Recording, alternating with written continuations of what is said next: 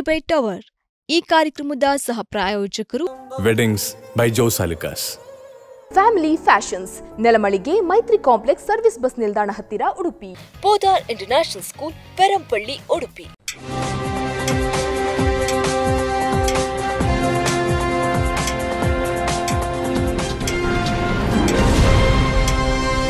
ನಮಸ್ಕಾರ ವೀಕ್ಷಕರೇ. ಈ ಚುನಾವಣೆಯ ಸಂದರ್ಭದಲ್ಲಿ ಅನೇಕ ವಿಚಾರಗಳ ಬಗ್ಗೆ ನಾವು ಚರ್ಚೆಯನ್ನ ಮಾಡ್ತೇವೆ. ಅದರ ಜೊತೆಗೆ ಕಳೆದ ಕೆಲವು ತಿಂಗಳಿನಿಂದ ಅತಿ ಹೆಚ್ಚು ಚರ್ಚೆಗೆ ಕಾರಣವಾಗಿರುವಂತ ಒಂದು ವಿಚಾರ ಏನಪ್ಪಾ ಅಂತ ಹೇಳಿದ್ರೆ ಚುನಾವಣಾ ಬಾಂಡ್.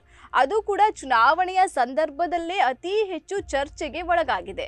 ಹಾಗಾದ್ರೆ ಜನಸಾಮಾನ್ಯರಲ್ಲಿ ಅನೇಕ ಪ್ರಶ್ನೆಗಳಿರ್ತದೆ. ಈ ಚುನಾವಣಾ ಬಾಂಡ್ ಅಂತ ಹೇಳಿದ್ರೆ ಏನು? ಸುಪ್ರೀಂ ಕೋರ್ಟ್ ಯಾಕೆ ಒಂದು ನಿರ್ದೇಶನವನ್ನ ತಂದಿದ್ದಾರೆ? ಸೊ ಏನು ಅವರು ತಂದಿರುವಂತಹ ನಿರ್ದೇಶನ? ಸೊ ಇದರಿಂದ ಏನೆಲ್ಲ ತೊಂದರೆಗಳಾಗ್ತಿದೆ? ಅಂದ್ರೆ ಈ ಚುನಾವಣಾ ಬಾಂಡ್ನಿಂದ. ಸೊ ಇದೆಲ್ಲದರ ಕುರಿತು ಇವತ್ತು ನಾವೊಂದು ಕಾರ್ಯಕ್ರಮವನ್ನ ಮಾಡ್ತಾ ಇದ್ದೇವೆ. ನಮ್ಮ ಜೊತೆ ರಾಜಕೀಯ ವಿಶ್ಲೇಷಕರಾಗಿರುವಂತಹ ಪ್ರೊಫೆಸರ್ ಕೊಕರ್ಣಿ ಸುರೇಂದ್ರನಾಥ್ ಶೆಟ್ಟಿ ಅವರಿದ್ದಾರೆ. ಅವರನ್ನ ಕಾರ್ಯಕ್ರಮಕ್ಕೆ ಸ್ವಾಗತಿಸ್ತಾ ಇದ್ದೇನೆ. ಸರ್ ಕಾರ್ಯಕ್ರಮಕ್ಕೆ ಸ್ವಾಗತ. ಸರ್ ಇವತ್ತು ನಾವು ಚುನಾವಣಾ ಬಾಂಡ್ ಇದ್ರ ಬಗ್ಗೆ ನಾವು ಮಾತಾಡ್ತಾ ಹೋಗೋಣ. ಚುನಾವಣೆಯ ಸಂದರ್ಭದಲ್ಲಿ ಅಂತ ಹೇಳಿದ್ರೆ ಸುಪ್ರೀಂ ಕೋರ್ಟ್ ಯಾವಾಗ ಒಂದು ಒಂದು ಆದೇಶವನ್ನ ತಂತು ಅದರ ನಂತರ ಅನೇಕ ಟಿವಿ ಮಾಧ್ಯಮಗಳಲ್ಲೂ ಕೂಡ ಈ ಚುನಾವಣಾ ಬಾಂಡ್ ಬಗ್ಗೆ ಚರ್ಚೆಗಳು ಕೂಡ ನಡೆದಿದೆ. ಸೊ ಇವತ್ತು ನಮ್ಮ ಚಾನೆಲ್ನಲ್ಲಿ ಕೂಡ ನಾವು ಇದ್ರ ಬಗ್ಗೆ ಒಂದು ಕಾರ್ಯಕ್ರಮವನ್ನ ಮಾಡ್ತಾ ಇದ್ದೇವೆ. ಸೊ ಜನರಿಗೂ ಕೂಡ ಅನೇಕ ಕುತೂಹಲ ಇದೆ. ಏನಪ್ಪ ಈ ಚುನಾವಣಾ ಬಾಂಡ್ ಅಂತ ಹೇಳಿದ್ರೆ? ಸೊ ಇದು ಯಾಕೆ ಈ ಟೈಮಲ್ಲಿ ಚರ್ಚೆಗೆ ಒಳಗಾಯಿತು ಅನ್ನುವಂಥದ್ದು. ಸೊ ನನ್ನ ಮೊದಲನೆಯ ಪ್ರಶ್ನೆ ಈ ಚುನಾವಣಾ ಬಾಂಡ್ ಅಂತ ಹೇಳಿದ್ರೆ ಏನು? ಸರಿ ಅಂದ್ರೆ ಜನಸಾಮಾನ್ಯರಿಗೆ ಇದರ ಬಗ್ಗೆ ಮಾಹಿತಿ ಕೊಡಬೇಕಾದ್ದು ಒಂದು ಮಾಧ್ಯಮದ ಕರ್ತವ್ಯ ಕೂಡ. ಆ ಹಿನ್ನೆಲೆಯಲ್ಲಿ ಇವತ್ತು ಚುನಾವಣಾ ಬಾಂಡ್ ಅಥವಾ ಇಲೆಕ್ಟ್ರಲ್ ಬಾಂಡನ್ನು ನಾವು ಚರ್ಚೆಗೆ ತಗೊಳ್ತಾ ಇದ್ದೇವೆ. ನೀವು ಹೇಳಿದಾಗೆ ಚುನಾವಣಾ ಬಾಂಡ್ ಅಂತ ಹೇಳಿದರೆ ಏನು? ಮುಖ್ಯವಾಗಿ ಚುನಾವಣಾ ಬಾಂಡ್ ಅನ್ನೋದಕ್ಕಿಂತ ಮೊದಲು ಈ ಎಲ್ಲ ಪಕ್ಷಗಳಿಗೆ ರಾಜಕೀಯ ಪಕ್ಷಗಳಿಗೆ ಚುನಾವಣೆಯಲ್ಲಿ ಹಣವನ್ನು ಖರ್ಚು ಮಾಡಬೇಕಾಗತ್ತೆ. ಅಲ್ವಾ? ಸಾಕಷ್ಟು ಹಣ ನಮ್ಮ ಮತ್ತೆ ಮಾತಾಡೋಣ ಅದ್ರ ಬಗ್ಗೆ. ಸೊ ಈ ಹಣ ಎಲ್ಲಿಂದ ಬರಬೇಕು? ಹೇಗೆ ಅವರು ಸಂಗ್ರಹಿಸಬೇಕು ಅನ್ನುವಂಥದ್ದು ಒಂದು ಸಮಸ್ಯೆ ಇತ್ತು. ಸೊ ಇದೇನಾಯ್ತು ಕೇಳಿದರೆ ಹಿಂದೆಲ್ಲ ನಾವು ಅದ್ರ ಬಗ್ಗೆ ಹೇಳುವಾಗ ಹಿಂದೆಲ್ಲ ಏನಾಯ್ತು ಕೇಳಿದರೆ ಅದು ನಗದು ರೂಪದಲ್ಲಿ ಪ್ರತಿ ಒಂದು ಪಕ್ಷಗಳು ಕೂಡ ತಮ್ಮ ಹಣವನ್ನು ಸಂಗ್ರಹಿಸ್ತಾ ಇತ್ತು. ಅಥವಾ ತಮ್ಮ ಡೊನೇಷನ್ ದೇಣಿಗೆ ರೂಪದಲ್ಲಿ ಸಂಗ್ರಹಿಸ್ತಾ ಇತ್ತು. ಆದರೆ ನೀವು ಹೇಳಿದಾಗೆ ಚುನಾವಣೆ ಬಾಂಡ್ ಅಂತ ಹೇಳಿದರೆ. ಈ ಬಾಂಡ್ ಅನ್ನೋ ಶಬ್ದ ಬಂತಲ್ಲ?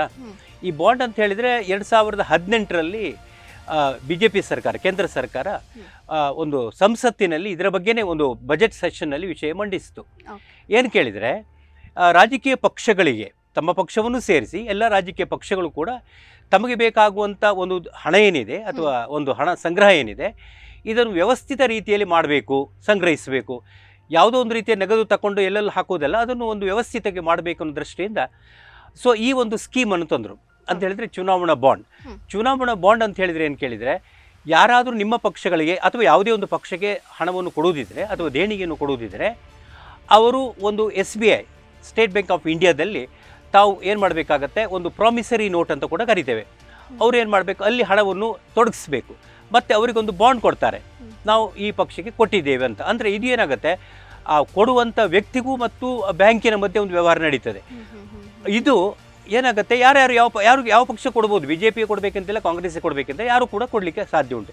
ಈ ರೀತಿಯಲ್ಲಿ ಒಂದು ಬ್ಯಾಂಕಿನ ಹತ್ರ ಹಣವನ್ನು ಸಂಗ್ರಹಿಸುವಂಥ ಒಂದು ಸ್ಕೀಮನ್ನು ತಂದರು. ಯಾವ ಎರಡ್ ಸಾವಿರದ ಹದಿನೆಂಟರಲ್ಲಿ.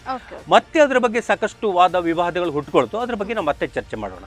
ಎರಡ್ ಸಾವಿರದ ಹದಿನೆಂಟರಲ್ಲಿ. ಇದನ್ನ ತಂದಿರುವಂತದ್ದು ಹಾಗಾದ್ರೆ ಎರಡ್ ಸಾವಿರದ ಹದಿನೆಂಟಕ್ಕಿಂತ ಮುಂಚೆ ಏನ್ ಮಾಡ್ತಾ. ಇದ್ರು?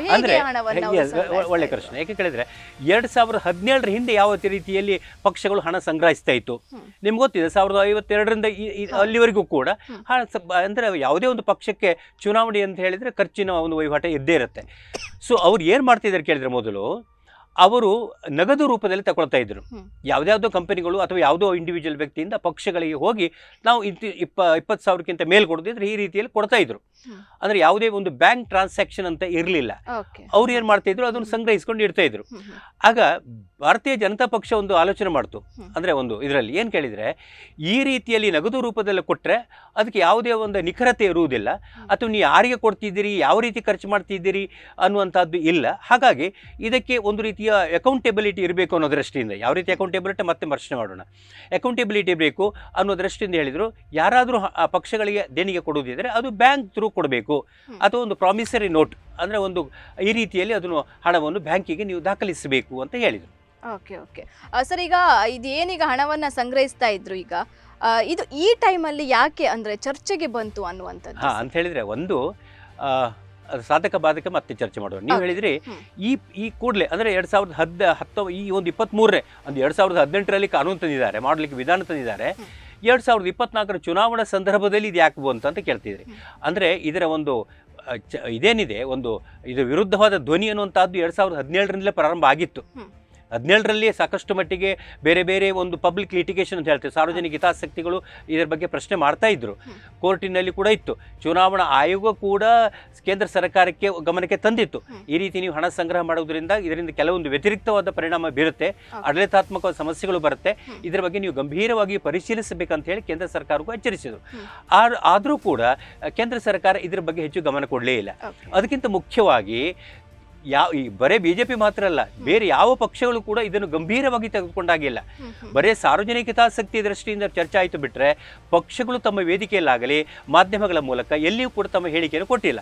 ಇದಕ್ಕೆ ಕಾರಣ ಏನು ಕೇಳಿದರೆ ಪ್ರತಿಯೊಂದು ಪಕ್ಷಕ್ಕೂ ಇನ್ಕ್ಲೂಡಿಂಗ್ ಬಿಜೆಪಿ ಕಾಂಗ್ರೆಸ್ ಮತ್ತು ಕೆಲವೊಂದು ಪ್ರಾದೇಶಿಕ ಪಕ್ಷಗಳಿಗೂ ಕೂಡ ಇದರ ಮೂಲಕ ಹಣ ಬರ್ತಾ ಇತ್ತು ಬರ್ತಾ ಇತ್ತು ಹಣ ಬರ್ತಾ ಇತ್ತು.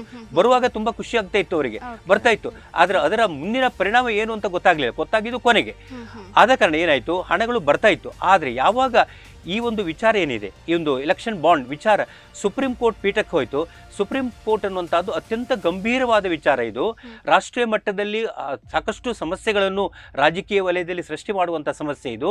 ಇದಕ್ಕೊಂದು ನಿರ್ದಿಷ್ಟವಾದ ಒಂದು ನಿರ್ಧಾರ ತೆಗೆದುಕೊಳ್ಳಬೇಕು ಅನ್ನುವ ಒಂದು ಖಾತೆ ಬಂದಾಗ ಇದು ಏನಾಯಿತು? ಅದು ಮತ್ತೆ ಚರ್ಚೆಗೆ ಮುನ್ನೆಲೆಗೆ ಬರಲಿಕ್ಕೆ ಸಾಧ್ಯ ಆಯಿತು. ನೀವು ಇದಾಗಲೇ ಹೇಳಿದಾಗೆ ಸುಪ್ರೀಂ ಕೋರ್ಟ್ ಇತ್ತೀಚೆಗೆ ಅದರ ಬಗ್ಗೆ ಒಂದು ತೀರ್ಪನ್ನು ಕೂಡ ಕೊಡ್ತು. ತೀರ್ಪು ಕೊಟ್ಟ ನಂತರ ಎಲ್ಲ ಪಕ್ಷಗಳು ಎಚ್ಚರಿಸಿಕೊಂಡು ಮಾತ್ರ ಅಲ್ಲ ಮಾಧ್ಯಮಗಳು ಎಚ್ಚೆತ್ಕೊಂಡ್ರು ಮಾತ್ರ ಅಲ್ಲ ಸಾರ್ವಜನಿಕ ಚರ್ಚೆಗೂ ಕೂಡ ಇದು ಗ್ರಾಸ ಆಯಿತು. ಇದು ಒಂದು ವಿಚಾರ. ಆ, ಸಾಧಕ ಬಾಧಕಗಳ ಬಗ್ಗೆ ಮಾತನಾಡಿ ಮತ್ತೆ ಆ ತೀರ್ಪಿನ ಬಗ್ಗೆ ನಾವು ಮತ್ತೆ ಮಾತನಾಡೋಣ. ಸೊ ಇದರ ಸಾಧಕ ಬಾಧಕಗಳು. ಏನೇನಲ್ಲ ಸಾಧಕ ಒಂದಂತ ಹೇಳಿದರೆ ಭಾರತೀಯ ಜನತಾ ಪಕ್ಷ ಇದ್ರ ಬಗ್ಗೆ ಒಂದು ಹೇಳಿತು ಏನು ಕೇಳಿದರೆ ಈ ಚುನಾವಣಾ ಬಾಂಡ್ ಯಾಕೆ ತರಬೇಕಾಯ್ತು ಅನ್ನುವಾಗ ಅವ್ರು ಹೇಳಿದರು ಹಿಂದೆ ನಗದು ರೂಪದಲ್ಲಿ ಕೊಡ್ತಾ ಇದ್ರು.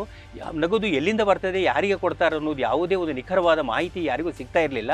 ಅಥವಾ ಹಣವನ್ನು ದುರುಪಯೋಗ ಮಾಡ್ಕೊಳ್ಬೋದು ಸ್ವಂತ ಖರ್ಚಿಗಾಗಿ ಬಳಸ್ಕೊಳ್ಬೋದು.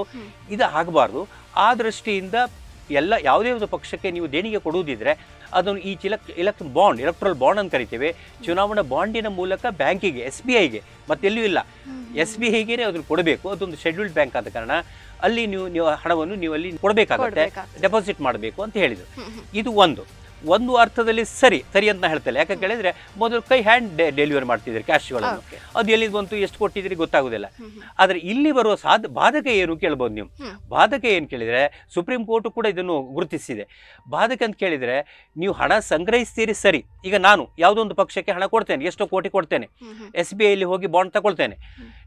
ನೀವು ನೀವು ಕೊಟ್ಟ ಹಣ ಯಾರಿಗೆ ಕೊಟ್ಟಿದ್ದೀರಿ ಎಲ್ಲಿ ತಗೊಂಡಿದ್ದೀರಿ ಎಷ್ಟು ಅಮೌಂಟ್ ಅನ್ನೋದು ಸಾರ್ವಜನಿಕವಾಗಿ ಅಭಿಪ್ರಾಯ ಸಂಗ್ರಹಿಸಲಿಕ್ಕೆ ಆಗೋದಿಲ್ಲ. ಈಗ ನೀವು ಬ್ಯಾಂಕಿಗೆ ಹೋಗ್ತೀರಿ ಒಬ್ಬ ವೋಟರ್ ಆಗಿ ಹೋಗ್ತೀರಿ. ಇವತ್ತು ಇವರು ಹಣ ಕೊಟ್ಟಿದ್ದಾರೆ ಎಷ್ಟು ಕೊಟ್ಟಿದ್ದಾರೆ ಯಾರಿಗೆ ಕೊಟ್ಟಿದ್ದಾರೆ ಮಾಹಿತಿಗೆ ಅಲ್ಲಿ ಅವಕಾಶ ಮಾಡಿಕೊಡಲೇ ಇಲ್ಲ. ನಾನು ಏನು ಕೇಳಿದರೆ ಇವಾಗ ಸುಪ್ರೀಂ ಕೋರ್ಟ್ ಕೂಡ ಅದನ್ನೇ ಹೇಳಿದ್ದು. ನೀವು ಹಣ ಸಂಗ್ರಹಿಸೋದ್ರ ಬಗ್ಗೆ ನಮಗೇನು ತಕರಾರಿಲ್ಲ. ಆದರೆ ನೀವು ಹಣ ಎಲ್ಲಿಂದ ಬಂದಿದೆ ಯಾರಿಗೆ ಕೊಟ್ಟಿದ್ದೀರಿ ಎಷ್ಟು ಬಂದಿದೆ ಅನ್ನೋದ್ರ ಬಗ್ಗೆ ಯಾವ ಮಾಹಿತಿಯನ್ನು ಸಾರ್ವಜನಿಕರಿಗೆ ಕೊಡುವ ಹಾಗಿಲ್ಲ ಅಥವಾ. ತಗೊಳ್ಳುವ ಹಾಗಿಲ್ಲ. ಅಂದ್ರೆ ಏನಾಯ್ತು? ಇದು ಗೌಪ್ಯವಾಗಿ ಒಳಗೆ ಒಳಗೆ ನಡೆಯುವಂತ ಒಂದು ವ್ಯವಹಾರ ಆಗಿಬಿಡ್ತದೆ ಅಲ್ವಾ? ಆ ನಗದೀಕರಣ ಆ ಮೊದಲಿನ ಇದಕ್ಕೂ ಇದಕ್ಕೂ ವ್ಯತ್ಯಾಸ ಏನಿತ್ತಾಗಾದ್ರೆ. ವ್ಯತ್ಯಾಸ ಅಂದ ತಕ್ಷಣ ಇದು ಸಾರ್ವಜನಿಕವಾಗಿ ಇರಬೇಕು. ಅದು ಪಬ್ಲಿಕ್ ಗೊತ್ತಾಗಬೇಕು. ಮತದಾರರಿಗೆ ಇದ್ರ ಬಗ್ಗೆ ಇಲ್ಲ ಅದನ್ನೇ ಸುಪ್ರೀಂ ಕೋರ್ಟ್ ಎತ್ತಿ ಹೇಳಿತು ಇದು ಮಾಹಿತಿ ಹಕ್ಕಿಗೆ ವಿರುದ್ಧವಾದ ಒಂದು ಕಾನೂನಾಗುತ್ತೆ. ಸಾರ್ವಜನಿಕರಿಗೆ ಅಭಿವ್ಯಕ್ತಿ ಇದೆ ಅವರಿಗೆ ಒಂದು ಫ್ರೀಡಮ್ ಆಫ್ ಎಕ್ಸ್ಪ್ರೆಷನ್ ಇದೆ ತಿಳ್ಕೊಳ್ಳುವ ಹಕ್ಕಿದೆ ಅವರಿಗೆ. ಅಲ್ವಾ? ಅದು ಎಸ್ ಬಿ ಅಂತ ಹೇಳಿದ್ರೆ ಕೇಂದ್ರ ಸರ್ಕಾರದ ಅಧೀನದಲ್ಲಿ ಅಥವಾ ಸ್ವಾಧೀನದಲ್ಲಿ ಇರುವಂತ ಒಂದು ಬ್ಯಾಂಕ್ ಅದು. ಅಲ್ಲಿ ಹೋಗಿ ಯಾರು ಕೊಟ್ಟಿದ್ದಾರೆ ಎಷ್ಟು ಕೊಟ್ಟಿದ್ದಾರೆ ಅಂತ ಕೇಳಿಕ್ಕೆ ಅವಕಾಶ ಇಲ್ಲ ಅಂತ ಹೇಳಿದ್ರೆ ಈ ಹಣ ಮತ್ತೆ ಹೇಗೆ ಬಂತು ಎಲ್ಲಿದೆ ಬಂತು ಹಣದ ಮೂಲ ಏನು ಹಣ ತಗೊಂಡವ್ರಿಗೆ ನೀವೇನು ಮಾಡ್ತಾ ಇದ್ದೀರಿ ಏನು ಫೇವರೇಬಲ್ ಆಗಿದ್ದೀರಿ ಎಲ್ಲ ಸಮಸ್ಯೆಗಳು ಜಟಿಲವಾದ ಸಮಸ್ಯೆಗಳು ಮುಂದೆ ಬರ್ಲಿಕ್ಕೆ ಸ್ಟಾ- ಪ್ರಾರಂಭ ಆಯಿತು. ಆವಾಗ ಸುಪ್ರೀಂ ಕೋರ್ಟ್ ಒಂದು ನಿಖರವಾದಿ ನಿರ್ದಿಷ್ಟವಾಗಿ ಒಂದು ನಿರ್ದೇಶನ ಕೊಡ್ತು. ಯಾಕೆ ಕೇಳಿದರೆ ಇದು totally it's a wrong concept ಅಂತ. ಇದರಿಂದಾಗಿ ಅದೆಷ್ಟೋ ಸಮಸ್ಯೆಗಳು ಭ್ರಷ್ಟಾಚಾರ ಹುಟ್ಕೊಳ್ಬೋದು ಅಥವಾ ಮೊದಲು ಹೇಳ್ತು ಏನು ಬಿ ಜೆ ಪಿ ಹೇಳ್ತು ಏನು ಗೊತ್ತುಂಟ? ಕಪ್ಪು ಹಣವೂ ಇದೆಯಲ್ಲ ಬ್ಲ್ಯಾಕ್ ಮನಿಯನ್ನು ವೈಟ್ ಮಾಡ್ಲಿಕ್ಕೆ ಆಗುತ್ತೆ ಅಂತ. ನೋಡಿ. ಅವ್ರು ಕೊಟ್ಟ ಕಾರಣ ಏನು ಕೇಳಿದ್ರೆ. ಅದೆಷ್ಟೋ ಮಂದಿ ಹತ್ರ ಏನಾಗುತ್ತೆ ಕಪ್ಪು ಹಣ ಇದೆ ಅನ್ಅಕೌಂಟೆಡ್ ಮನಿ ಕಪ್ಪು ಮನಿ ಅಂದರೆ ಅನ್ಅಕೌಂಟೆಡ್ ಮನಿ ಸೊ ಇದನ್ನು ನಿಮಗೆ ತಾನಾಗಿ ಅವರು ಕೊಡೋದಿಲ್ಲ. ಕೊಡೋದಿಲ್ಲ. ಆದರೆ ಈ ಕಪ್ಪು ಹಣವನ್ನು ನಾವು ಹೇಗೆ ಸಂಗ್ರಹಿಸಬಹುದು ಅಥವಾ ನಮ್ಮ ಅಕೌಂಟಿಗೆ ತಗೊಳ್ಬಹುದು ಕೇಳಿದರೆ ಈ ಮೂಲಕ ತಗೊಳ್ಬೋದು. ತಗೊಳ್ಳಿಕ್ಕೆ ಸಾಧ್ಯ ಆಗುತ್ತೆ. ಅವಾಗ ಏನಾಗ್ತಾರೆ ಈಗ ಫಾರ್ ಎಕ್ಸಾಂಪಲ್ ನಾನು ನನ್ನ ಹತ್ರ ಕಪ್ಪು ಹಣ ಇದೆ ಬ್ಲ್ಯಾಕ್ ಮನಿ ಇದೆ. ನಾನು ಹೋಗಿ ಬ್ಯಾಂಕಿಗೆ ಹಾಕ್ತೇನೆ ಯಾವುದೋ ಒಂದು ಪಕ್ಷದ ಹೆಸರಿನಲ್ಲಿ ಹಾಕ್ತೇನೆ. ಅದು ವೈಟ್ ಆಗುತ್ತೆ ಅಲ್ಲಿ. ಅದು ಅವರ ಆರ್ಗ್ಯುಮೆಂಟ್ ಅದು ವೈಟ್ ಆಗುತ್ತೆ. ಅದಕ್ಕೆ ಟ್ಯಾಕ್ಸ್ನ ಕೊಡಬೇಕಾಗಿಲ್ಲ ಹಣ. ಎಲ್ಲಿಂದ ಬಂತಂತ ಕೂಡ ಹೇಳಬೇಕಾಗಿಲ್ಲ. ಈ ರೀತಿಯಲ್ಲಿ ಕಪ್ಪು ಹಣವನ್ನು ಸಂಗ್ರಹಿಸಲಿಕ್ಕೆ ಒಂದು ದಾರಿ ಆಯಿತು ಅನ್ನುವುದನ್ನು ಬಿಜೆಪಿ ತನ್ನ ವಾದದಲ್ಲಿ ಮಂಡಿಸಿತು. ಆದರೆ ಸುಪ್ರೀಂ ಕೋರ್ಟ್ ಹೇಳ್ತು ಸರಿ ಕಪ್ಪು ಹಣ ವೈಟ್ ಮಾಡ್ತಿದ್ದೀರಿ. ಆ ಕಪ್ಪು ಹಣ ಎಲ್ಲಿಂದ ಬಂತು? ಅವ್ರು ಹೇಗೆ ಅದನ್ನು ಸಂಗ್ರಹ ಮಾಡಿದ್ದಾರೆ? ಅವ್ರ ಸಂಪಾದನೆ ಮೂಲ ಏನು? ಅವ್ರು ತಗೊಂಡವರಿಗೆ ಕಪ್ಪು ಹಣ ತಗೊಂಡವರಿಗೆ ವೈಟ್ ಮಾಡಿದ್ದೀರಿ ಅವರಿಗೇನು ನೀವು ಸಹಾಯ ಮಾಡ್ತಿದ್ದೀರಿ? ಇದೆಲ್ಲ ಸಮಸ್ಯೆಗಳು ಜಟಿಲವಾದ ಪ್ರಶ್ನೆಗಳು ಸುಪ್ರೀಂ ಕೋರ್ಟ್ ಇದ್ರೆ ಬಂತು. ಇದಕ್ಕೆ ಉತ್ತರ ಕೊಡಲಿಕ್ಕೆ ಸರ್ಕಾರದ ಮುಂದೆ ಇರಲಿಲ್ಲ. ಆಯ್ತಾ? ಕೊನೆಗೆ ಹೇಳಿದರು ಎರಡು ಸಾವಿರದ ಹತ್ತೊಂಬತ್ತು ಅಂದರೆ ಅಲ್ಲಿಂದ ಎಷ್ಟು ಹಣ ಸಂಗ್ರಹ ಮಾಡಿದ್ದೀರಿ? ಅದು ಬ್ಯಾಂಕ್, ಎಸ್ ಬಿ ಐ ಇದಕ್ಕೆ ನಿಖರವಾದ ಒಂದು ಮಾಹಿತಿ ಕೊಡಬೇಕಂತೇಳಿ ಸ್ಪಷ್ಟವಾಗಿ ಒಂದು ಮಾಹಿತಿಯನ್ನು, ಒಂದು ನಿರ್ದೇಶನವನ್ನು ಸುಪ್ರೀಂ ಕೋರ್ಟ್ ಯಾರಿಗೆ ಕೊಡ್ತು? ಎಸ್ ಬಿ ಐ ಕೊಡ್ತು. ಸರ್ ಹಾಗಾದ್ರೆ ಈ ಕಪ್ಪು ಹಣಕ್ಕೆ ಕಡಿವಾಣ ಹಾಕಲು ಬೇರೆ ಮಾರ್ಗ ಇರ್ಲಿಲ್ವಾ? ಖಂಡಿತ ಉಂಟು. ಇರಲಿಲ್ಲ ಅಂತ ಹೇಳಿ ಯಾಕಂತ ಹೇಳಿದ್ರೆ ಏನಾಗ ಈ ಕಪ್ಪು ಹಣ ಸ್ವಲ್- ಸುಲಭ ಅಲ್ಲ ಡಿಮಾನಿಟೈಸೇಷನ್ ಮಾಡಿದ್ರು. ಡಿಮಾನಿಟೈಸೇಷನ್ ಮಾಡಿದಾಗೂ ಕೂಡ ಅವ್ರು ಏನ್ ಮಾಡಿದ್ರು? ಕಪ್ಪು ಹಣ ಬರುತ್ತೆ ಅಂತ. ಅಷ್ಟು ಪ್ರಮಾಣದಲ್ಲಿ ಬರಲಿಲ್ಲ. ಇದು ಇನ್ನೊಂದು ತರದಲ್ಲಿ ಅಂದ್ರೂ ನಿಮ್ಮನ್ನು ಓಲೈಸಿ ಆದ್ರು. ಯಾಕಂದ್ರೆ ಓಲೈಸುವಂತಹದ್ದು ನಿಮ್ಮ ಹತ್ರ ಅಥವಾ ನನ್ನ ಹತ್ರ ಕಪ್ಪು ಹಣ ಇದ್ರೆ ನಮ್ಮನ್ನು ಓಲೈಸುವಂಥದ್ದು. ಆ ನಿಮ್ಗೊಂದು ದಾರಿ ಮಾಡಿ ಕೊಡ್ತೇವೆ. ಈ ರೀತಿಯಲ್ಲಿ ನಿಮ್ಮ ಹಣವನ್ನು ತಂದು ಹಾಕಿ ಅಂತ. ಆದರೆ ತಂದು ಹಾಕಿದ ದಾರಿ ಯಾವುದು? ಎಲ್ಲಿಂದ ತಂದಿದ್ದೀರಿ ಅನ್ನೋದ್ರ ಬಗ್ಗೆ ಮಾಹಿತಿ ಕೊಡಬೇಕಾಗಿಲ್ಲ. ಆವಾಗ ನಾನು ಸೇಫ್ ಆಯಿತು. ಮಾತ್ರ ಅಲ್ಲ ಈಗ ನಾವು ನಿಮ್ಮ ನೀವು ಸರ್ಕಾರದಿಂದ ಇಟ್ಕೊಳ್ಳಿ ನಾನು ನಿಮ್ಗೆ ಹಣ ಕೊಡ್ತೇನೆ. ನನ್ನ ಕೊಡೋ ಉದ್ದೇಶ ಏನು? ನನ್ನ ಹಿಂದಿನ ಇನ್ನಷ್ಟು ಕಪ್ಪು ವ್ಯವಹಾರ ಇದೆ ನನ್ನ ಹತ್ರ ಬ್ಲ್ಯಾಕ್ ವ್ಯವಹಾರ ಬಿಸ್ನೆಸ್ ಇದೆ. ಅದನ್ನು ವೈಟ್ ಮಾಡ್ಲಿಕ್ಕೆ ಅನುಕೂಲ ಆಯಿತು. ಈಗ ನೀವು ನನ್ನ ಹತ್ರ ಹಣ ತಗೊಂಡ ನಂತರದಲ್ಲಿ ಅಥವಾ ನಾವು ನಿಮ್ಗೆ ಎಷ್ಟೋ ಕೋಟಿ ನಿಮ್ಮ ಪಕ್ಷಕ್ಕೆ ಕೊಟ್ಟ ನಂತರದಲ್ಲಿ ನೀವು ನನಗೆ ಫೇವರೇಬಲ್ ಆಗಿರಲೇಬೇಕಾ ಬೇಡವಾ? ನೀವು ನನಗೆ ಫನಿಶ್ ಮಾಡ್ಲಿಕ್ಕೆ ಆಗೋದಿಲ್ಲ ನನ್ನ ಮೇಲೆ ಐ ಟಿ ರೈಡ್ ಮಾಡ್ಲಿಕ್ಕೆ ಆಗೋದಿಲ್ಲ ನೀವು ಮಾಡೋದಿಲ್ಲ ಮಾಡ್ಲಿಕ್ಕೆ ಆಗೋದಿಲ್ಲ ಯಾಕಂದ್ರೆ ನನ್ನಿಂದ ಹಣ ತಗೊಂಡದ್ದು ಅಬ್ಲಿಗೇಷನ್ ಮೇಲೆ ಇರುತ್ತೆ. ಅಲ್ವಾ ಇಡಿ ರೈಡ್ ಮಾಡ್ಲಿಕ್ಕೆ ಆಗೋದಿಲ್ಲ ಇದೆಲ್ಲ ಒಂದು ಒಂದು ಪ್ಯಾಚಪ್ ಮಾಡುವಂತ ಕೆಲಸ ಈ ಡಿ ಇದುಂಟಲ್ಲಿ ಯಾವ್ದು ನಿಮ್ಮ ಎಲೆಕ್ಟ್ರಾಲ್ ಬಾಂಡ್ನಲ್ಲಿ ಬಂದಿದೆ. ಅನ್ನೋದು ಸುಪ್ರೀಂ ಕೋರ್ಟ್ ಕೂಡ ನಿಖರವಾಗಿ ಹೇಳ್ತು. ಸೊ ಇದು ದೊಡ್ಡ ವಿಚಾರವಾಗಿ ಒಂದು ರಾಷ್ಟ್ರೀಯ ಮಟ್ಟದ ಚರ್ಚೆಗೆ ಗ್ರಾಸವಾಗಲಿ ಕಾರಣ ಆಯಿತು ಹಾಗಾದ್ರೆ ಯಾವ ಯಾವ ಪಕ್ಷಗಳು ಎಷ್ಟೆಷ್ಟು ಹಣವನ್ನ ಪಡೆದುಕೊಂಡಿದೆ ಅಂತ ಅದ್ರ ಬಗ್ಗೆ ಹೇಳ್ಬಹುದಾ? ಅಂದ್ರೆ ಖಂಡಿತವಾಗಿ. ಯಾಕೆ ಕೇಳಿದೆ ನೀವು ಹೇಳಿದಾಗೆ ಯಾವ ಪಕ್ಷಗಳು ಇಟ್ಕೊಂಡಿದೆ? ಮುಖ್ ಮುಖ್ಯವಾಗಿ ನೋಡುವಾಗ ಇಲ್ಲಿ ಹೈಯೆಸ್ಟ್ ಹಣ ಬರುವಂತಹದ್ದು ಈ ಒಂದು ಮೂರ್ನಾಲ್ಕು ವರ್ಷದಲ್ಲಿ ನೋಡಿದಾಗ. ನಮಗೆ ಅಂದ್ರೆ ಬಿಜೆಪಿ ಬಂದಿದೆ. ಬಿಜೆಪಿಗೆ ಅಂತ ಹೇಳಿದ್ರೆ ಆರು ಸಾವಿರದ ಒಂಬೈನೂರ ಎಂಬತ್ತಾರು ಕೋಟಿ ಎಷ್ಟು? ಆರು ಸಾವಿರದ ಒಂಬೈನೂರ ಎಂಬತ್ತಾರು ಕೋಟಿ ಬಿಜೆಪಿ ಬಂತು. ಎರಡನೇದು ಮತ್ತೆ ಅದನ್ನು ವಿಶ್ಲೇಷಣೆ ಮಾಡ್ತೇನೆ. ತೃಣಮೂಲ ಪಕ್ಷ ಇದೆ ಕಾಂಗ್ರೆಸ್ ಇದೆ. ತೃಣಮೂಲ ಕಾಂಗ್ರೆಸ್ ಅಲ್ಲಿ ವೆಸ್ಟ್ ಬೆಂಗಾಲದಲ್ಲಿದೆ ಅವರಿಗೆ ಎಷ್ಟು ಬಂತು? ಒಂದು ಸಾವಿರದ ಮುನ್ನೂರ ತೊಂಬತ್ತಾರು ಕೋಟಿ ಒಂಬತ್ತಾರು ಕೋಟಿ. ಹಾಗೆ ಕಾಂಗ್ರೆಸ್ ಪಾರ್ಟಿ ಕಾಂಗ್ರೆಸ್ ಪಾರ್ಟಿಗೆ ಎಷ್ಟು ಬಂತು ಕೇಳಿದ್ರೆ? ಒಂದು ಸಾವಿರದ ಮುನ್ನೂರ ಎಂಬತ್ನಾಲ್ಕು ಕೋಟಿ ಬಂತು. ನಾನು ಯಾಕೆ ಈ ಮಾಹಿತಿಯನ್ನು ನಿಮ್ಮ ಮುಂದೆ ಇಡ್ತಿದ್ದೇನೆ ಕೇಳಿದರೆ ಇದು ಯಾವ ರೀತಿಯ ಕೊಡ್ತೀರಿ ಅಂತ ಹೇಳಿದ್ರೆ ಈ ಕಪ್ಪು ಹಣ ಹೋಲ್ಡರ್ಸ್ ಇದ್ದಾರಲ್ಲ ಬ್ಲ್ಯಾಕ್ ಮನಿ ಹೋಲ್ಡರ್ಸ್ ಇದ್ದಾರಲ್ಲ ಅಥವಾ ಕೆಟ್ಟ ದಾರಿಯಲ್ಲಿ ಹಣ ಸಂಗ್ರಹಿಸುವವರು ಇದ್ದಾರಲ್ಲ ಅವರು ಯಾರಿಗೆ ಹಣ ಕೊಡ್ತಾರೆ? ಯಾರು ಅಧಿಕಾರದಲ್ಲಿದ್ದ ಅವ್ರಿಗೆ ಕೊಡ್ತಾರೆ. ಅಲ್ವಾ? ಅಂದ್ರೆ ಇದು ಒಂದು ರೀತಿಯಲ್ಲಿ ರೀತಿಯಲ್ಲಿ ನಿಮ್ಮದು ಕುದುರೆ ವ್ಯಾಪಾರ ಅಂತಾರಲ್ಲ? ಕುದುರೆ ವ್ಯಾಪಾರ ಅಂತಾರಲ್ಲ. ಅಥವಾ ಕುದುರೆ ರೇಸಿಗೆ ಹಣ ಕಟ್ತಿರಲ್ಲ ಬಿಡ್ ಮಾಡ್ತಿರಲ್ಲ? ಅದೇ ರೀತಿಯಲ್ಲಿ ಗೆಲ್ಲುವ ಕುದುರೆಗೆ ನೀವು ಹಣ ಕೊಡ್ತೀರಿ ಸೋಲುವ ಕುದುರೆಗೆ ಯಾರು ಹಣ ಕೊಡ್ಲಿಕ್ಕೆ ಹೋಗೋಲ್ಲ. ಇದೇನಾಯ್ತು? ಬಿಜೆಪಿ ಎನ್ನುವಂತಹದ್ದು ಸ್ಪಷ್ಟವಾಗಿ ಬಹುಮತ ಗಳಿಸುತ್ತೆ ಅಥವಾ ಸ್ಪಷ್ಟವಾಗಿ ಅಧಿಕಾರದಲ್ಲಿದೆ ಅವರಿಗೆ ಹಣ ಹರಿದು ಬರುತ್ತೆ. ಯಾಕೆ? ಅಧಿಕಾರ ಅವ್ರ ಹತ್ರ ಇರುವುದು. ನಮ್ಮನ್ನು ರಕ್ಷಿಸುವಂತಹ ಅಧಿಕಾರ ಅಥವಾ ನಮ್ಮನ್ನು ಫನಿಶ್ ಮಾಡುವಂತಹ ಅಧಿಕಾರ ಯಾರ ಹತ್ರ ಇರುವುದು? ರೂಲಿಂಗ್ ಪಾರ್ಟಿ ಆಟೋಮೆಟಿಕ್ಲಿ ಬಂದೇ ಬರುತ್ತೆ. ಅಲ್ವಾ? ಅಥವಾ ಇನ್ನೊಂದು ಆಶ್ಚರ್ಯ ಅಂತ ಹೇಳಿದ್ರೆ ತೃಣಮೂಲಕ ಬಂತು. ತೃಣಮೂಲಕ್ಕೆ ಕೇಳಿದ್ರೆ ಆ ಒಂದು ಪ್ರದೇಶದಲ್ಲಿ ಇರುವಂತಹ ಕೈಗಾರಿಕೆ ಇದ್ದಾರಲ್ಲ.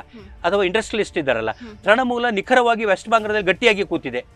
ಸೊ ಅದನ್ನು ಯಾರು ಅಲ್ಗಾಡಿಸ್ಲಿಕ್ಕೆ ಆಗುವುದಿಲ್ಲ ಅದೇನಾಯ್ತು ಅದಕ್ಕೂ ಬಂತು ಕಾಂಗ್ರೆಸ್ಸಿಗೆ ಅಷ್ಟೊಂದು ಸ್ಟೆಬಿಲಿಟಿ ಇರಲಿಲ್ಲ ಯಾವ ರಾಜ್ಯದಲ್ಲಿ ಇರಲಿಲ್ಲ ದೇಶದಲ್ಲಿಯೂ ಇರಲಿಲ್ಲ ಆದ ಕಾರಣ ಒಂದು ರಾಷ್ಟ್ರೀಯ ಪಕ್ಷವಾದಂಥ ಕಾಂಗ್ರೆಸ್ಸಿಗೆ ತೃಣಮೂಲ ಕಾಂಗ್ರೆಸ್ಸಿಗೆ ಹೋಲಿಸಿ ನೋಡಿದರೆ ಕಡಿಮೆ ಬಂತು ನಾನು ಯಾಕೆ ತುಲನೆ ಮಾಡ್ತಿದ್ದೆ ಕೇಳಿದರೆ, ಈ ಈ ಒಂದು ಎಲೆಕ್ಟ್ರಲ್ ಬಾಂಡ್ ಏನಿದೆ, ಅಥವಾ ಚುನಾವಣಾ ಬಾಂಡ್ ಹಣ ಹೇಗೆ ಬರ್ತದೆ ಕೇಳಿದರೆ, ಯಾರು ಅಧಿಕಾರದಲ್ಲಿದೆ ಅವರಿಗೆ ಹೆಚ್ಚು ಬರುತ್ತೆ. ಅಧಿಕಾರದಲ್ಲಿ ಇಲ್ಲ ಅವ್ರಿಗೆ ಕಡಿಮೆ ಬರುತ್ತೆ. ಆದ್ರೆ ಇನ್ನೊಂದು ಪ್ರಶ್ನೆ ನನಗೆ ಕಾಡ್ತಾ ಇತ್ತು. ಇಷ್ಟೆಲ್ಲ ಬಾ ಇವ್ರಿಗೆ ಗೊತ್ತಿದೆ. ಬಿಜೆಪಿಗೆ ಎಷ್ಟು ಹೋಗಿದೆ ಅಂತ ಕಾಂಗ್ರೆಸ್ಗೆ ಗೊತ್ತಿದೆ. ತೃಣಮೂಲಕ್ಕೆ ಹೋಗಿದೆ ಎಷ್ಟು ಅಂತ ಕಾಂಗ್ರೆಸ್ಸಿಗೆ ಗೊತ್ತಿದೆ. ಅಥವಾ ಕಾಂಗ್ರೆಸ್ಗೆ ಎಷ್ಟು ಹಣ ಬಂದಿದೆ ಗೊತ್ತಿದೆ. ಆದ್ರೆ ಯಾರೂ ಕೂಡ ಎದುವರೆಗೆ ಯಾಕೆ ಧ್ವನಿ ಎತ್ತಲಿಲ್ಲ ಅಂತ ನೋಡಿ. ಅಂದ್ರೆ ಬಂದದ್ದೇ ಲಾಭ ಅಂತ ಪ್ರತಿಯೊಬ್ಬರು ತಿಳ್ಕೊಂಡದ್ದೇನು ಹ್ಮ್. ಇಷ್ಟಾರು ಬಂತಲ್ಲ ಅಂತ. ಅಂದ್ರೆ ಪ್ರತಿಯೊಬ್ರು ಪ್ರತಿಯೊಬ್ಬರು ನಾನು ಹೇಳಿ ಒಂದು ಪಕ್ಷ ಅಂತ ನಾನು ಇಲ್ಲಿ ಹೇಳ್ತಾ ಇಲ್ಲ. ಪ್ರತಿಯೊಂದು ರಾಜಕೀಯ ಪಕ್ಷಗಳು ಕೂಡ ಇದರಲ್ಲಿ ಹಿತಾಸಕ್ತಿ ಇತ್ತು. ನಮ್ಮಂತ ನಿಮ್ಮಂತ ಒಬ್ಬ ಸಾರ್ವಜನಿಕ ಹಿತಾಸಕ್ತಿ ಇರೋರಿಗೆ ಮಾತ್ರ ಇದು ಪ್ರಶ್ನೆ ಬಂತು ಬಿಟ್ರೆ ಅವ್ರು ಮಾತ್ರ ಸುಪ್ರೀಂ ಕೋರ್ಟ್ನಲ್ಲಿ ಚಾಲೆಂಜ್ ಮಾಡಿಬಿಟ್ರೆ ಈ ರಾಜಕೀಯ ಪಕ್ಷಗಳು ಯಾವ್ದು ಹೋಗಿ ಚಾಲೆಂಜ್ ಮಾಡ್ಲಿಲ್ಲ. ನೋಡಿ ಒಂದ್ ವೇಳೆ ಮಾಡ್ಬೋದಿತ್ತಲ್ಲ ಕಾಂಗ್ರೆಸ್ ಹೋಗಿ ಚಾಲೆಂಜ್ ಮಾಡ್ಬೋದಿತ್ತಲ್ಲ ಟಿ ಎಂ ಸಿ ಹೋಗಿ ಮಾಡ್ಬೋದಿತ್ತಲ್ಲ ಮಾಡ್ಲೇ ಇಲ್ಲ. ಎಲ್ಲರೂ ಸೀಕ್ರೆಟ್ ಆಗಿ ಮನೆಯಲ್ಲೇ ಕೂತ್ಕೊಂಡ್ರು. ಯಾಕೆ ಬರುವಷ್ಟು ಬರಲಿ ಅಂತ ಹೇಳಿ ನಾನು ಯಾಕೆ ಕೇಳಿದ್ರೆ ನಮ್ಮಂತ ನಿಮ್ಮ ಎಂಬಂತ ಸಾರ್ವಜನಿಕ ಹಿತಾಸಕ್ತಿ ಇರುವಂತ ಸಂಘ ಸಂಸ್ಥೆಗಳು ಸುಪ್ರೀಂ ಕೋರ್ಟ್ನ ಚಾಲೆಂಜ್ ಮಾಡಿದ ಕಾರಣ ಇದೆಲ್ಲ ಬೆಳಕು ಬರಲಿಕ್ಕೆ ಸಾಧ್ಯ ಆಯಿತು. ಒಂದು ಇದು ಒಂದು ಸ್ಪಷ್ಟವಾದ ಇದು ಒಂದು ನಿರ್ಣಯ ಕೊಡಬೇಕಾಗತ್ತೆ. ಹಾಗಾದ್ರೆ ಸರ್ ಈಗ ಎಸ್ ಬಿ ಐ ಇದ್ರ ಬಗ್ಗೆ ಮಾಹಿತಿಯನ್ನು ಹಂಚ್ಕೊಳ್ಬೇಕಾಗ್ತದ? ಹಂಚ್ಕೊಳ್ಬೇಕಾದ್ರೆ ಯಾವ ಸಂದರ್ಭದಲ್ಲಿ ಅಂದ್ರೆ ಒಂದು- ಹಂಚ್ಕೊಳ್ಬೇಕು? ಅದುವರೆಗೆ ಕೂಡ ಎಸ್ ಬಿ ಐ ಮಾಹಿತಿ ಕೊಡಲೇ ಇಲ್ಲ. ಕೊಡ್ಲೇ ಇಲ್ಲ ಯಾಕಂದ್ರೆ ನಿಮ್ಗೆ ಗೊತ್ತಿದೆ ಕೊಡ್ಲಿಕ್ಕೆ ಆಗೋದಿಲ್ಲ. ಯಾಕೆ ಕೇಳಿದ್ರೆ ಅದು ಕೇಂದ್ರದ ಅಧೀನದಲ್ಲಿ ಇರುವಂತದ್ದು ಬ್ಯಾಂಕಿಂಗ್ ಅಂತ ಹೇಳಿದ್ರೆ ಕೇಂದ್ರ ಸರ್ಕಾರದ ಅಧೀನದಲ್ಲಿ ಇರುವಂತಹ ಒಂದು ವ್ಯವಸ್ಥೆ ಅದು ಬ್ಯಾಂಕಿಂಗ್ ಸೆಕ್ಟರ್. ಸೊ ಅವರು ಕೊಡಬೇಕಾದ್ರೆ ಕೇಂದ್ರ ಸರ್ಕಾರದಿಂದ ಅವರಿಗೆ ಒಂದು ನಿರ್ದೇಶನ ಬರಬೇಕಾಗತ್ತೆ. ಅಲ್ವಾ? ಆರ್ ಬಿ ಐ ಹಾಗೇನೆ ನಿರ್ದೇಶನ ಕೊಡಬೇಕಾಗತ್ತೆ. ಅವ್ರು ಏನ್ ಮಾಡಿದ್ರು ಕೇಂದ್ರ ಸರ್ಕಾರ ಕೂಡ ಅವ್ರ ಮೇಲೆ ಗಟ್ಟಿಯಾಗಿ ಹಿಡ್ಕೊಂಡ್ರು. ನೀವು ಕೊಡಬೇಡಿ ಅಂತ.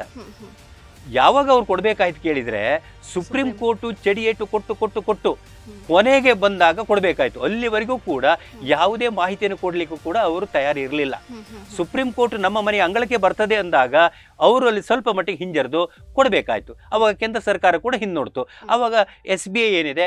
ಸ್ವಲ್ಪ ಮಾಹಿತಿಯನ್ನು ಕೊಡ್ಲಿಕ್ಕೆ ಬಂತು. ಆದ್ರೂ ಕೂಡ ಸ್ಪಷ್ಟವಾಗಿ ಇನ್ನೂ ಕೊಡ್ತಾ ಇಲ್ಲ. ಅಲ್ಪ ಸ್ವಲ್ಪ ಅಲ್ಪ ಸ್ವಲ್ಪ ಕೊಡ್ತಾ ಇದೆ. ಸ್ಪಷ್ಟವಾಗಿ ಇನ್ನೂ ಕೊಡ್ತಾ ಇಲ್ಲ. ಯಾವಾಗ ಪೂರ್ತಿಯಾಗಿ ಬಿಚ್ಚಿ ಹೇಳ್ತಾರೆ ಗೊತ್ತಿಲ್ಲ. ಅಂತ ಹೇಳಿದ್ರೆ ಇವತ್ತಿಗೂ ಕೂಡ it is still it's in a hearing stage ಅಥವಾ it is in a discussion ಸ್ಟೇಜ್ನಲ್ಲಿ ಇದೆ. ಓಕೆ ಹಾಗಾದ್ರೆ ಈ ರಾಜಕೀಯ ಪಕ್ಷಗಳಿಗೆ ಹಣ ಎಲ್ಲಿಂದ ಬರಬೇಕು ಹಾ ಇನ್ನೊಂದು. ಹಾಗಾದ್ರೆ ಎಲ್ಲಿಂದ ಬರಬೇಕು? ಸರಿ ಅಂತೆ ಒಂದು ಅರ್ಥ ಹೇಳ್ತೇನೆ. ಇಲೆಕ್ಟ್ರಲ್ ಬಾಂಡ್ ಬಂದ್ರೆ ತೊಂದರೆ ಇಲ್ಲ. ನಾನು ಹೇಳುವಂತೆ ಇಲೆಕ್ಟ್ರಲ್ ಬಾಂಡ್ ಬರಲಿ. ಆದ್ರೆ ಆ ಬಂದ ಹಣದ ಬಗ್ಗೆ ಮಾಹಿತಿ ಸಾರ್ವಜನಿಕವಾಗಿ ತಿಳಿಯುವಾಗಿರಬೇಕು ಅಲ್ವಾ? ಬರುವಾಗಿರಬೇಕು ಬರುವಾಗಿರ್ಬೇಕು. ಯಾರಿಂದ ಬಂದಿದೆ? ಯಾವ ಇಂಡಸ್ಟ್ರಿಯಿಂದ ಬಂದಿದೆ? ಯಾವ ಉದ್ಯಮಿ ಬಂದಿದೆ? ಆವಾಗ ಏನಾಗುತ್ತೆ? ನಾವು ಅದನ್ನು ಸರ್ಚ್ ಮಾಡ್ಲಿಕ್ಕಾಗತ್ತೆ. ಓ ಈ ಒಂದು ಕಂಪನಿಯಿಂದ ಈ ಪಕ್ಷಕ್ಕೆ ಇಷ್ಟು ಬಂದಿದೆ. ಆ ಕಂಪನಿ ಇತಿಹಾಸ ಏನು? ನೋಡಿ. ಅಲ್ವಾ?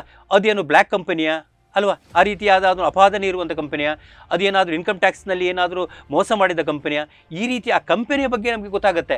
ಇದೇನಾಗುತ್ತೆ? ಕಳ್ಳ ಕಂಪನಿಗಳು ಈ ರೀತಿ ಹಣ ಕೊಡುವಾಗ ಆ ಕಂಪನಿಯ ಇತಿಹಾಸ ಗೊತ್ತಾಗುತ್ತೆ. ಉದಾಹರಣೆಗೆ ನಾನು ಒಂದು ಪಕ್ಷವನ್ನು ನಡೆಸ್ತಾ ಇದ್ದೆ ಅಂತ ಹೇಳಿದ್ರೆ ನನಗೆ ಯಾವುದೋ ಒಂದು ಫ್ರಾಡ್ ಕಂಪನಿ ಕೊಡ್ತಂತ ಹೇಳಿದ್ರೆ ನಾವು ಕೂಡ ಫ್ರಾಡ್ ಆಗಿಬಿಡ್ತೇವೆ. ಅಲ್ವಾ? ಕಳ್ಳನಿಂದ ಕಳ್ಳ ಹಣ ತಕೊಂಡು ಕಳ್ಳನಾಗ್ತಾನೆ. ಅಲ್ವಾ? ನಾವು ಸ- ಸಂಭಾವಿತರಾಗ್ಲಿ ಸಾಧ್ಯ ಇಲ್ಲ. ಯಾಕೆ ಹಣ ಕೊಟ್ಟಿದ್ದಾರು ಕಳ್ಳನೇ ಕೊಟ್ಟಿದ್ದು. ಕಳ್ಳನಿಂದ ಕಳ್ಳ ತಗೊಂಡಿದ್ದ ಅಂತ ಹೇಳಿದ್ರೆ ಆ ಕಳ್ಳರಿಗೂ ಕಳ್ಳ ಸಹಾಯ ಮಾಡಿದ ಅಂತ ಅರ್ಥ. ಅಂದ್ರೆ ಯಾಕೆ ಕೇಳಿದರೆ ಎಲೆಕ್ಟ್ರಲ್ ಬಾಂಡ್ ಗುಡ್ ಆದರೆ ಸುಪ್ರೀಂ ಕೋರ್ಟ್ ಕೊಟ್ಟಿದ್ದೇನು ಕೇಳಿದರೆ ಮಾಹಿತಿಯನ್ನು ನೀವು ಕರ್ ಮಾಡಬೇಡಿ. ಮಾಹಿತಿಯನ್ನು ಕ್ರಶ್ ಮಾಡಬೇಡಿ. ಯಾಕೆ ಎಲೆಕ್ಟ್ರಲ್ ಬಾಂಡ್ ಗುಡ್ ಕೇಳಿದ್ರೆ? ನೀವು ಹೇಳಿದ್ರೆ ಪಕ್ಷಗಳಿಗೂ ಖರ್ಚು ಮಾಡ್ಲಿಕ್ಕೆ ಇರ್ತದಲ್ಲ. ಅಲ್ವಾ? ಚುನಾವಣೆ ಅಂತ ಹೇಳಿದ್ರೆ ನಿಮ್ಗೆ ಗೊತ್ತಿದೆ ಈ ಬಾರಿ ಎಪ್ಪತ್ತು ಸಾವಿರ ಕೋಟಿ ಖರ್ಚಾಗತ್ತಂತೆ. ಈ ಒಂದು ಇಪ್ಪತ್ನಾಲ್ಕರ ಚುನಾವಣೆಯಲ್ಲಿ ಎಪ್ಪತ್ತು ಸಾವಿರ ಕೋಟಿ ಖರ್ಚು ಮಾಡಬೇಕಾಗತ್ತೆ. ಈ ಪಕ್ಷಗಳು ಎಲ್ಲಿಂದ ತರಬೇಕು? ಆ ಕಡೆ ಸದಸ್ಯ ಶುಲ್ಕ ಕಮ್ಮಿ ಇರ್ತದೆ ಖರ್ಚು ಮಾಡ್ಲಿಕ್ಕೆ ಆಗೋದಿಲ್ಲ. ಒಂದು ಇನ್ನೊಂದು ನಾನು ಹೇಳ್ತೇನೆ ಇಷ್ಟು ಕೋಟಿಗಟ್ಟಲೆ ಯಾಕೆ ಖರ್ಚು ಮಾಡಬೇಕಂತ. ಒಂದು ಪ್ರಶ್ನೆ. ಯಾಕೆ ಕೇಳಿದರೆ ಫಾರ್ ಎಕ್ಸಾಂಪಲ್ ನೀವು ನೋಡ್ತೀರಿ ಎರಡು ಸಾವಿರದ ಹತ್ತೊಂಬತ್ತರಲ್ಲಿ ಬಿ ಜೆ ಪಿ ಒಂದೇ ಒಂದು ಸಾವಿರದ ಇನ್ನೂರ ಅರವತ್ತ ನಾಲ್ಕು ಕೋಟಿ ಖರ್ಚು ಮಾಡಿದೆ. ಒಂದು ಚುನಾವಣೆ ಮೇಲೆ ಎರಡು ಸಾವಿರದ ಹತ್ತೊಂಬತ್ತರ ಲೋಕಸಭೆ ಚುನಾವಣೆಯಲ್ಲಿ ಒಂದು ಪಕ್ಷ ಒಂದು ಸಾವಿರದ ಇನ್ನೂರ ಅರವತ್ನಾಲ್ಕು ಖರ್ಚು ಮಾಡಿದೆ. ಅದೇ ಕಾಂಗ್ರೆಸ್ಸು ಇನ್ ಎಂಟುನೂರ ಇಪ್ಪತ್ತು ಕೋಟಿ ಖರ್ಚು ಮಾಡಿದೆ. ನಾನು ಯಾಕೆ ಕೇಳಿದರೆ ಇದೆಲ್ಲ ಆಯಾ ಪಕ್ಷದ ಆರ್ಥಿಕ ಸ್ಥಿತಿಗತಿ ಮೇಲೆ ಡಿಪೆಂಡ್ ಆಗಿರುತ್ತೆ. ಖರ್ಚು ಮಾಡಬೇಕಾ? ಆದ್ರೆ ಇಷ್ಟು ಖರ್ಚು ಯಾಕೆ ಮಾಡಬೇಕು ಅಂತ ನಾನು ಕೇಳ್ತೇನೆ. ಇಲ್ಲ ಅದೇ ನಾನು ಹೇಳುದು ಆದಷ್ಟು? ಇಲೆಕ್ ನಾನು ಹೇಳುದು ಎಲೆಕ್ಷನ್ ಕಮಿಷನ್ಗೆ ನಾವು ಹೇಳ್ತಾ ಇದ್ವಿ. ಎಲೆಕ್ಷನ್ ಕಮಿಷನ್ ಏನು ಮಾಡಬೇಕು? ಈ ಇಷ್ಟು ಪ್ರಮಾಣದಲ್ಲಿ ನೀವು ಯಾಕೆ ಖರ್ಚು ಮಾಡಬೇಕು? ಇಷ್ಟೊಂದು ರ್ಯಾಲಿಗಳನ್ನ ಯಾಕೆ ಮಾಡಬೇಕು? ಇಷ್ಟೊಂದು ಸೆಕ್ಯೂರಿಟಿಗಳನ್ನು ಯಾ ಸದಾ ಯಾಕೆ ಕೊಡಬೇಕು? ಅಲ್ವಾ? ಅಂದರೆ ಇವತ್ತು ಮಾಧ್ಯಮಗಳು ಸಾಕಷ್ಟಿದೆ. ಮೊದಲಾದ್ರೆ ಸರಿ ಇಪ್ಪತ್ತು ಮೂವತ್ತು ವರ್ಷಗಳ ಹಿಂದೆ ಆದರೆ ಮಾಧ್ಯಮಗಳು ಇರಲಿಲ್ಲ ಜನರಿಗೆ ಮಾಹಿತಿಗಳು ಹೋಗ್ತಾ ಇರಲಿಲ್ಲ. ಆದರೆ ಈಗ ಹಾಗಲ್ಲ. ಪ್ರತಿಯೊಬ್ಬರ ಕೈಯಲ್ಲಿ ಮಾಹಿತಿ ಇದೆ ಹ್ಮ್. ಅಲ್ವಾ? ಪತ್ರಿಕಾ ಮಾಧ್ಯಮ ಇದೆ ಮೀಡಿಯಾಗಳಿದೆ ಸೋಷಿಯಲ್ ಮೀಡಿಯಾ ಇದೆ ಜನರಿಗೆ ವಿಷಯಗಳು ಮುಟ್ಟಿಸ್ಲಿಕ್ಕೆ ಸಾಧ್ಯ ಆಗುತ್ತಲ್ಲ. ಅಂದ್ರೆ ಫೇಸ್ ಟು ಫೇಸ್ ಕಾಂಟ್ಯಾಕ್ಟ್ ಮಾಡ್ಬೋದಲ್ಲ ಸಣ್ಣ ಸಣ್ಣ ಸಭೆ ಸಮಾರಂಭಗಳು ಮಾಡ್ಬೋದಲ್ಲ. ಅದು ಬಿಟ್ಟು ಇಂತಿಷ್ಟು ದೊಡ್ಡ ದೊಡ್ಡ ರ್ಯಾಲಿಗಳನ್ನ ಯಾಕೆ ಮಾಡಬೇಕು ನೀವು? ಸೊ ಇದೆಲ್ಲ ಏನಾಗುತ್ತೆ? ಚುನಾವಣೆ ಖರ್ಚುಗಳು. ಖರ್ಚುಗಳು ಜಾಸ್ತಿ ಆಗ್ತಾ ಹೋಗುತ್ತೆ. ಸೊ ಆದ ಕಾರಣ ಚುನಾವಣೆಗೆ ಪಕ್ಷಗಳು ಮಾಡುವ ಖರ್ಚಿನ ಮೇಲೂ ಕಡಿವಾಣ ಹಾಕ್ಬೇಕು. ಇವ್ರು ಏನ್ ಮಾಡಿದ್ರು? ಒಬ್ಬ ಅಭ್ಯರ್ಥಿಗೆ ಇವತ್ತು ತೊಂಬತ್ತೈದು ಲಕ್ಷ ಖರ್ಚು ಮಾಡ್ಲಿಕ್ಕೆ ಅವಕಾಶ ಮಾಡಿ ಹ್ಮ್. ನೋಡಿ ಈ ಚುನಾವಣಾ ಆಯೋಗ ಏನ್ ಮಾಡ್ತು? ಮೊದಲು ಎಪ್ಪತ್ತೈದು ಲಕ್ಷ ಇದ್ದದ್ದನ್ನು ತೊಂಬತ್ತೈದು ಲಕ್ಷ ಮಾಡಿದ್ರು. ಇದು ಐದೈದು ವರ್ಷಕ್ಕೊಮ್ಮೆ ಇವರು ಲಕ್ಷ ಕೋಟಿ ಕೋಟಿ ಮಾಡ್ತಾ ಜಾಸ್ತಿ ಮಾಡ್ತಾ ಹೋಗ್ತಾ ಇದ್ದಾರೆ. ನಾ ಯಾಕೆ ಮಾಡ್ ಕಡಿಮೆ ಮಾಡ್ತಾ ಹೋಗ್ಬೇಕಿತ್ತು? ಇವರು ಜಾಸ್ತಿ ಮಾಡ್ತಾ ಹೋಗ್ತಿದ್ದಾರೆ. ಅದರ್ಥ ಏನು ತೊಂಬತ್ತೈದು ಲಕ್ಷ ಖರ್ಚು ಮಾಡಲಿಕ್ಕೆ ಅವ ಅವಕಾಶ ಮಾಡಿ ಕೊಟ್ಟಿದ್ರು ಅಂತ ಹೇಳಿದ್ರೆ ಅಷ್ಟು ಹಣವನ್ನು ಸಂಗ್ರಹಿಸಬೇಕೋ ಬೇಡವಾ. ಸಂಗ್ರಹಿಸ್ತಾರೆ. ಚುನಾವಣಾ ಆಯೋಗ ಆದಷ್ಟು ಮಟ್ಟಿಗೆ ಈ ಖರ್ಚಿನ ಮೇಲೆ ಕಡಿವಾಣ ಹಾಕಬೇಕು ಅವರು. ಕಡಿಮೆ ಮಾಡ್ತಾ ಹೋಗಬೇಕು. ವ್ಯಕ್ತಿ ಏನಾಗುತ್ತೆ ಚುನಾವಣೆ ಹಬ್ಬ ಹೌದು. ಹಬ್ಬ ಅಂದ ತಕ್ಷಣ ಖರ್ಚು ಮಾಡಬೇಕಾಗಿಲ್ಲ. ಸರಳವಾಗಿ ಜನರಿಗೆ ರೀಚ್ ಆಗ್ಲಿಕ್ಕೆ ಆಗತ್ತೆ ಜನರು ಕೂಡ ಬುದ್ಧಿವಂತರಿದ್ದಾರೆ. ಡಾಮ್ ಡಿಮ್ ಮಾಡಬೇಕಾಗಿಲ್ಲ ಅಲ್ವಾ? ಆ ರೀತಿಯಲ್ಲಿ ಖರ್ಚನ್ನು ಕಡಿಮೆ ಮಾಡಬಹುದು ಅಂತಲ್ಲ? ಅಲ್ವಾ? ಈ ರೀತಿ ಮಾಡಬೇಕು ಆವಾಗ ಏನಾಗುತ್ತೆ? ಆಟೋಮೆಟಿಕ್ಲಿ ಜನಸಾಮಾನ್ಯರು ಕೂಡ ಚುನಾವಣೆ ನಿಲ್ಲಕ್ಕೆ ಸಾಧ್ಯ ಆಗುತ್ತೆ. ಇವತ್ತು ಸಾಮಾನ್ಯ ಒಬ್ಬ ವ್ಯಕ್ತಿ ಎಷ್ಟೇ ಪ್ರತಿಭಾವಂತ ಇರಬಹುದು. ಎಷ್ಟೇ ದೊಡ್ಡ ಸೇವಾಕರ್ತನ ಇರಬಹುದು ಅವನಿಗೆ ಚುನಾವಣೆ ಸ್ಪರ್ಧಿಸ್ಲಿಕ್ಕೆ ಆಗೋದಿಲ್ಲ. ಯಾಕೆಂದ್ರೆ ಯಾಕೆ ತೊಂಬತ್ತೈದು ಲಕ್ಷ ಎಲ್ಲಿಂದ ತರಬೇಕು ಅವನು. ತೊಂಬತ್ತೈದು ಲಕ್ಷ ಅಕೌಂಟೆಡ್ ಮನಿ ಅನ್ಅಕೌಂಟೆಡ್ ಅವನು ಎಷ್ಟೋ ಕೋಟಿ ಖರ್ಚು ಮಾಡ್ತಾನೆ. ನಾನು ಯಾಕೆ ಕೇಳಿದ್ರೆ ಈ ರೀತಿಯಲ್ಲಿ ಏನು ಮಾಡಬೇಕಾಗತ್ತೆ? ಚುನಾವಣಾ ಆಯೋಗ ಮುಖ್ಯವಾಗಿ ಸರ್ಕಾರ ಮಾಡುತ್ತೆ ಅಂತ ಹೇಳೋಲ್ಲ ಕೇಂದ್ರ ಸರ್ಕಾರ ಚುನಾವಣಾ ಆಯೋಗಕ್ಕೆ. ನಿರ್ದೇಶನ ಕೊಡಬೇಕು ಖರ್ಚುಗಳನ್ನು ಆದಷ್ಟು ಕಡಿಮೆ ಮಾಡಿ. ಈ ರೀತಿಯಲ್ಲಿ ವ್ಯರ್ಥ ಮಾಡುವಂತಹದ್ದು ಈ ರೀತಿಯಲ್ಲಿ ಪಬ್ಲಿಕ್ ಆಗಿ ಮನಿಯನ್ನು ವೇಸ್ಟ್ ಮಾಡುವಂತಹದ್ದು ಮಾಡಬಾರ್ದು. ಇದರಿಂದ ಜನರಿಗೂ ಲಾಭ ಇಲ್ಲ ಸರ್ಕಾರಕ್ಕೂ ಲಾಭ ಇಲ್ಲ ದೇಶಕ್ಕೂ ಲಾಭ ಇಲ್ಲ ಪ್ರಜಾಪ್ರಭುತ್ವಕ್ಕೆ ಖಂಡಿತ. ಅನಾಹುತ ಆಗುತ್ತೆ ಹೌದು ವರ್ಷದಿಂದ ಜಾಸ್ತಿ ಎಲ್ಲಿ ಹೋಗಿ ನಿಲ್ಲುತ್ತೆ ಅಂತ? ಇದು ಪ್ರಶ್ನೆ ಎಲ್ಲಿ ಹೋಗಿ ನಿಲ್ಲುತ್ತೆ ಅನ್ನೋದು ದೊಡ್ಡ ಬಿಗ್ ಕ್ವಶನ್ ಆಗುತ್ತೆ. ಸರ್ ಹಾಗಾದ್ರೆ ಅವರು ಇಷ್ಟೇ ದುಡ್ಡನ್ನ ತೆಗೆದುಕೊಳ್ಬೇಕು ಅಥವಾ ಎಷ್ಟು ಬೇಕಾದ್ರೂ ತಗೊಳ್ಬಹುದು ಅನ್ನುವಂತ ಏನೋ ಲಿಮಿಟೇಷನ್ಸ್ ಉಂಟಾ ಅಂತ ಯಾರಿಗೆ? ಪಕ್ಷಗಳಿಗೆ ಪಕ್ಷಗಳಿಗೆ. ಪಕ್ಷಗಳಿಗೆ ಏನಿಲ್ಲ. ಖರ್ಚು ಮಾಡಲು ಲಿಮಿಟ್ ಇಲ್ಲ. ಲಿಮಿಟ್ ಇರುವಂತಹದ್ದು ಅಭ್ಯರ್ಥಿಗಿದೆ ತೊಂಬತ್ತೈದು ಲಕ್ಷ. ಅಂದ್ರೆ ನಾನು ಯಾಕೆ ಕೇಳಿದರೆ ಈ ಆದ ಕಾರಣ ಯಾವ ಪಕ್ಷಗಳಿಗೆ ಹೆಚ್ಚು ಹಣ ಹರಿದು ಬರ್ದಿರ್ತದೋ ಅವ್ರು ಮ್ಯಾಕ್ಸಿಮಮ್ ಖರ್ಚು ಮಾಡ್ತಾರೆ. ಯಾಕಂದರೆ ಇವತ್ತು ಏನಾಗುತ್ತೆ ಕೇಳಿದರೆ ಒಂದು ಪಕ್ಷ ತನ್ನ ಬಿಂಬಿಸ್ಕೊಳ್ಬೇಕಾದ್ರೆ ಅವರಿಗೆ ಒಂದು ಏನು ಕೇಳಿದ್ರೆ ಪ್ರಚಾರದ ವೈಖರಿ. ಪ್ರಚಾರದ ವೈಖರಿ. ಮಾದ್ ಫಾರ್ ಎಕ್ಸಾಂಪಲ್ ಇದು ಇವತ್ತು ಬೇರೆ ದೇಶಗಳಲ್ಲಿ ಕೂಡ ಇದೆ. ಅವ್ರು ಏನು ಮಾಡ್ತಾರೆ ಕೇಳಿದರೆ ಪ್ರಚಾರವನ್ನು ಹೇಗೆ ಮಾಡ್ತಾರೆ ಕೇಳಿದ್ರೆ ಅಮೆರಿಕ ಅಂತ ದೇಶದಲ್ಲಿ ಅಧ್ಯಕ್ಷ ಚುನಾವಣೆ ನಡಿಬೇಕಾದ್ರೆ ಅವರು ಮಾಧ್ಯಮಗಳು ಜಾಸ್ತಿ ಯೂಸ್ ಮಾಡ್ಕೊಳ್ತಾರೆ. ಮಾಧ್ಯಮಗಳು. ಅಲ್ಲಿ ನಾವು ನೀವು ಪ್ರೆಸಿಡೆಂಟ್ ಆದ್ರೆ ಮಾಧ್ಯಮದ ಎದುರು ಹೋಗಿ ಕೂತ್ಕೊಳ್ಬೇಕು ಹೀಗೆ. ಕೂತು ಜನರಲ್ಲಿ ಎದುರಿರ್ತಾರೆ. ವ್ಯೂವರ್ಸ್ ಇದ್ದಾರೆ. ಅವರು ನಮಗೆ ಪ್ರಶ್ನೆ ಕೇಳ್ತಾರೆ ಅವರಿಗೆ ನಾವು ಉತ್ತರ ಕೊಡಬೇಕು. ಈ ರೀತಿಯಲ್ಲಿ ಕಾಂಟ್ಯಾಕ್ಟ್ ಮಾಡುವಂಥ ಸ್ಕೀಮ್ ಇದೆ. ನಮ್ಮಲ್ಲಿ ಹಾಗಲ್ಲ. ಒಬ್ಬ ಪ್ರಧಾನಿ ಇರ್ಬೋದು ಯಾರು ಯಾವುದೇ ಅಧ್ಯಕ್ಷ ಇರ್ಬೋದು ಯಾರು ಇರ್ಬೋದು ಅವ್ರು ಎಲ್ಲಿ ಬರಬೇಕು? ಉಡುಪಿ ಬರಬೇಕು. ಉಡುಪಿ ಬರೋದು ಅಂತ ಹೇಳಿ ಖರ್ಚು ಎಷ್ಟಾಗುತ್ತೆ. ರ್ಯಾಲಿಗಳು ಎಷ್ಟು ಖರ್ಚಾಗುತ್ತೆ? ಸೆಕ್ಯೂರಿಟಿ ಎಷ್ಟಿದೆ? ಎಲ್ಲವೂ ಖರ್ಚಾಗಬೇಕಾಗತ್ತಲ್ಲ? ಅಲ್ಲ. ಅದು ಇರೆಸ್ಪೆಕ್ಟಿವ್ ಪಾರ್ಟ್ ಟೈಮ್ ಟೈಲಿಂಗ್ ಅಂದ್ರೆ ಅದನ್ನು ಕಡಿಮೆ ಮಾಡಬೇಕು. ಮಾಧ್ಯಮಗಳು ಯೂಸ್ ಮಾಡ್ಕೊಳ್ಳಿ. ಸಾಗಿದೆ.